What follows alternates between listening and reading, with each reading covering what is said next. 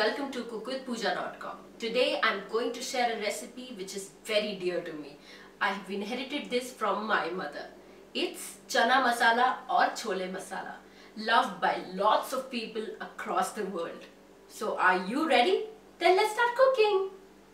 For making chana masala or chole masala we need 1 cup of chickpeas that is chana, 2 onions finely chopped, tomato puree made out of 3 tomatoes. You can simply blend the tomatoes in a blender.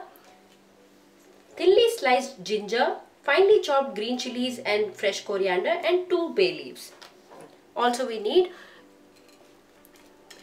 cardamom, 2 to 3 cardamom, 1 to 2 star anise, 3 to 4 black peppercorns, 3 to 4 cloves, few dried pomegranate seeds, pinch of baking soda and 2 tea bags. Also we need is a cinnamon stick. If you don't find it, you can use cinnamon grounded just like I'm using it.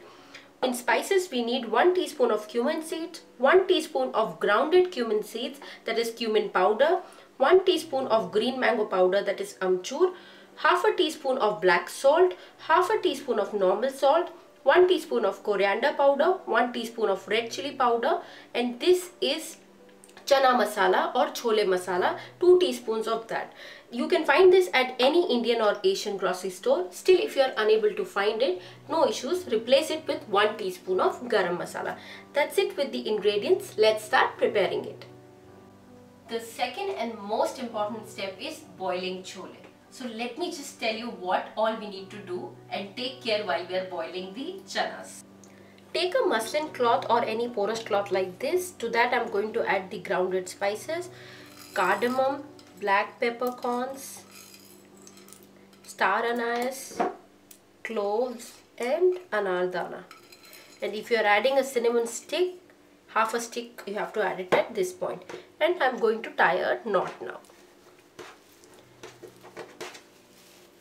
Tie a knot to make it a bundle like this.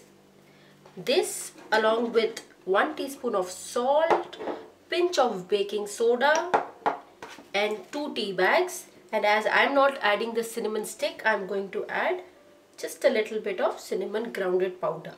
That's all is going to go inside the pressure cooker along with my soaked chanas and I'm going to pressure cook it for 4 to 5 whistles. That's it. I have already boiled my chole and look at the perfect color that has come out. Separate the chole from the boiled water and don't discard it as it has all the flavors of spices and chole in it. We are going to use it in the gravy. So let's prepare the gravy In now. a pan, add about 3 tablespoons of oil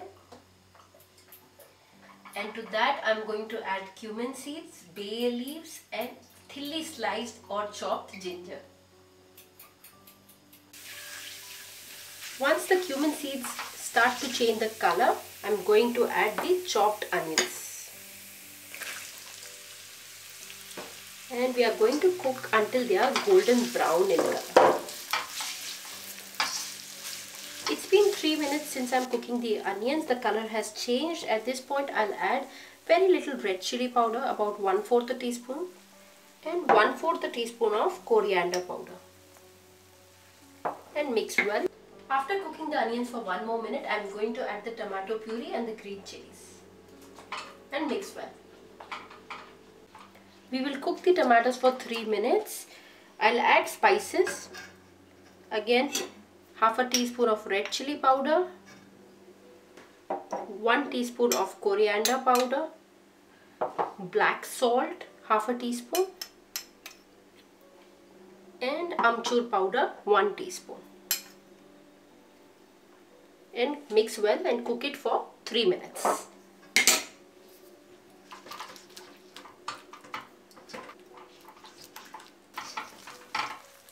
Our gravy is perfect now. Tomatoes perfectly cooked. Just mash it a bit with the spatula itself and you can get a thick and smooth gravy like this. Now I'll add the boiled chole to it. After adding the chole, give it a mix after mixing them, I'm going to add one masala that is chole masala. Again, I'm repeating if you don't get it, no issues. Replace these 2 teaspoons of chole masala with garam masala 1 teaspoon. So that's fine. After that, I'm going to add one of the most important ingredient that is grounded cumin powder. If you get it ready made well, uh, well and good, otherwise no problem. Just dry roast the cumin seeds on a tawa or a griddle. After that just ground it to a coarse powder. That will also do. And give it a good mix and cook these chole for 2 more minutes. And we are good to go after that.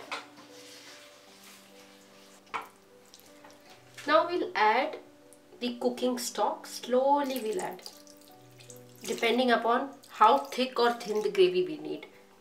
As I'm going to eat it with puri, I'm not going to add too much of cooking stock. If you want to have it with rice or something or you like the thin gravy, add little bit more of the cooking stock. And bring it to a boil. Our chole is completely cooked and awesome aroma is coming out. Wow. Now the last step will be to take out some of the chickpeas into a bowl. Not much, just about very little of them and I'm going to mash them a bit. Why I'm going to mash it is this will enhance the texture of the gravy and also thicken it a bit more so it looks more tasty while eating. This is how it looks after mashing them. Now I'm going to add it to the gravy. This halfly mashed chole will actually thick my gravy and look awesome. And see, our chole is ready to be served. Just garnish it with fresh coriander and serve it. My chole masala is ready. I hope you like this recipe. Do try this at home and let me know how it turned out for you. For complete note of ingredients and procedure, have a look at the recipe at cookwithpooja.com. Till then, this is Pooja signing off and you don't forget to subscribe us at cookwithpooja.com and like us on facebook.com. Bye-bye.